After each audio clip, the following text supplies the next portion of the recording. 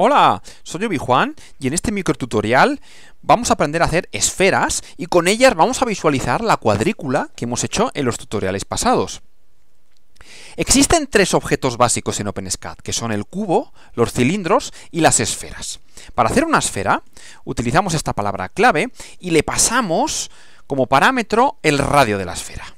Vamos a darle, por ejemplo, 20 y grabamos y aquí sale nuestra esfera. Al igual que sucedía con los cilindros, si utilizamos el parámetro $fn, podemos cambiar la resolución de esta esfera. Si ponemos 100, pues nos sale una esfera mucho mucho más suave, con una resolución mejor, y si ponemos un número muy bajo, nos sale de muy baja resolución. En este caso nos sale con 6, eh, en los casquetes se dividen en 6 partes. Son hexágonos aquí. Vamos a utilizar las esferas para visualizar la cuadrícula. Así que definimos la cuadrícula, que la distancia de cada cuadro queremos que sea de 30 milímetros. Las esferas que vamos a visualizar queremos que sean de 2 de radio igual a 2 milímetros. Queremos que haya 10 cuadros de ancho y 10 cuadros de alto. Y ahora empezamos a dibujar las esferas. Como son todas iguales, utilizamos un bucle. Y así hacemos que el índice IX vaya desde 0 hasta n, porque vamos a colocar 11 esferas, n más unas, para que haya 10 cuadros. Ahora el II igual a 0n, lo mismo, en el eje de las I's queremos que haya 11 esferas. Ahora colocamos la esfera, translate, en el punto IX por D, II por D, y en el plano z igual a 0, y ponemos una esfera de radio, el que habíamos definido, 2 milímetros, y una resolución de 15, por ejemplo.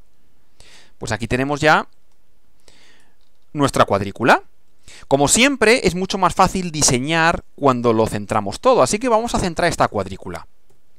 Para ello declaramos la variable size, que es el tamaño total de esta cuadrícula, que es el número de cuadros que hay por la distancia de cada cuadro.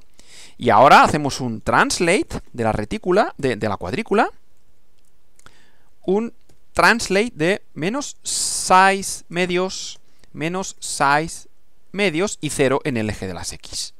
Y aquí ya la tenemos centrada. Vamos a utilizar la retícula. Vamos a situar un par de objetos para que veáis cómo funciona. Vamos a poner una esfera primero, en el punto 2, 2 pues hacemos un translate 2 por D, 2 por D, 0, y vamos a hacer que la, que la esfera sea roja para que resalte. Y le metemos una esfera de radio 20 y de 20 de resolución, por ejemplo. Y aquí la tenemos. Nuestra esfera está en la posición 1, 2, 1, 2. Vamos a poner un objeto más, por ejemplo, ahora un cubo, en la posición menos 3, 4. Menos 3, menos 4. Translate. Menos 3 por D.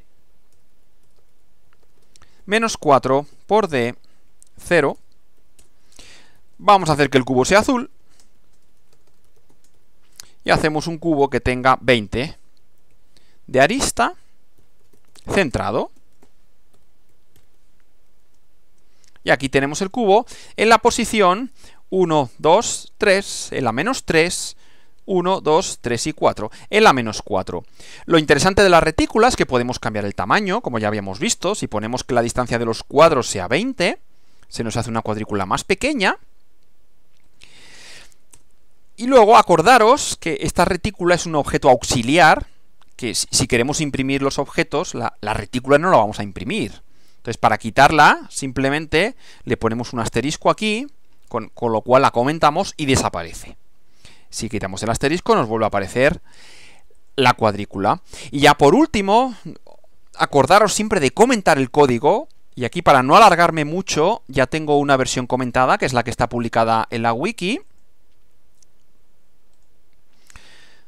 Explicando qué es cada una de las cosas. Esto es todo desde Obi Academy. Que el OpenSCAD os acompañe.